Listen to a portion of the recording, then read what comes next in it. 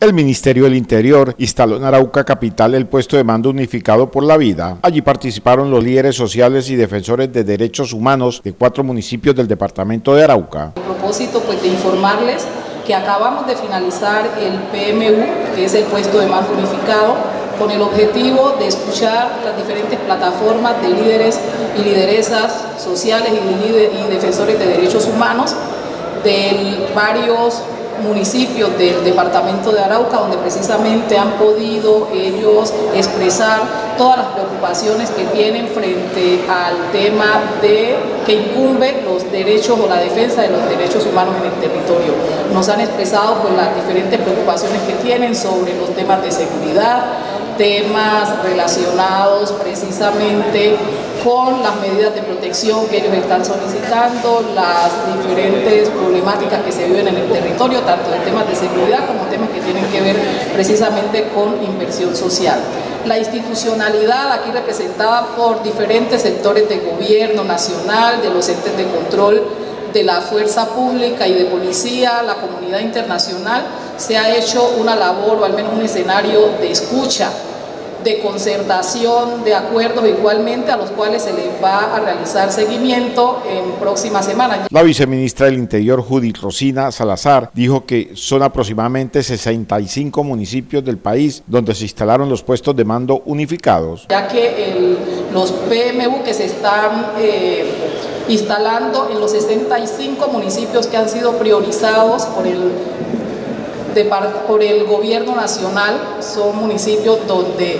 eh, la priorización precisamente obedece a la información que nos llega de diferentes sectores como la Defensoría del Pueblo con las alertas tempranas, el informe que dan las mismas plataformas de derechos humanos, los alcaldes y gobernadores en los territorios, la comunidad internacional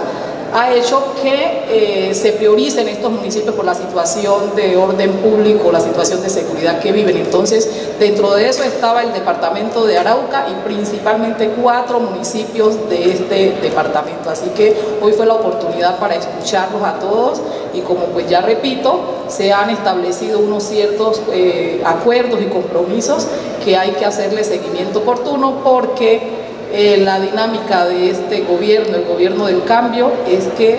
lo que se promete se cumple. En los puestos de mando unificados, los líderes sociales y organizaciones defensoras de derechos humanos entregan un informe detallado de la región. Desde el Ministerio del Interior simplemente pues darle ese parte de tranquilidad primero a los líderes y lideresas que estuvieron hoy aquí eh, planteando sus diferentes situaciones, de que se buscarán todas las medidas necesarias para salvaguardar su vida, que es lo primordial o lo principal, y pues a través de acciones que se podrán implementar a mediar, a corto, mediano y largo plazo, y a través incluso del Plan Nacional de Desarrollo, buscar la forma como eh, a posteriori pues ir avanzando en toda la problemática social, económica que se tiene en el territorio. Pero aquí como quiero dejar muy plantado que el objetivo de este PMU era precisamente escuchar esas necesidades inminentes o urgentes de protección a la vida de los líderes y lideresas en el territorio del departamento de Arauca. Estas reuniones son coordinadas con todas las autoridades, tanto policial, militares y civiles de la región. Sí, esto obedece precisamente a las diferentes acciones que se han realizado de manera articulada con la Policía Nacional, con los mismos alcaldes y gobernadores,